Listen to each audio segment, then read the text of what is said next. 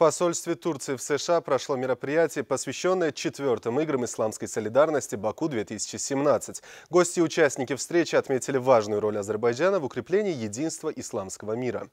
Bakü'de e, bugün açılan e, dördüncü Мы были очень обрадованы открытию четвертых игр исламской солидарности в Баку. Во-первых, спорт сближает людей. Во-вторых, нас радует, что этот турнир проводится в Баку, столице братской страны, в Азербайджане. Мы уверены, что игры будут весьма успешными. На открытии игр Турцию представлял министр молодежи и спорта Чагатай Кылыч, и, разумеется, на церемонии участвовала делегация из Турции. Но главное здесь мы желаем единства и дружбы между исламскими государствами. Мы уверены, что именно в таком ключе братский Азербайджан организует исламские игры.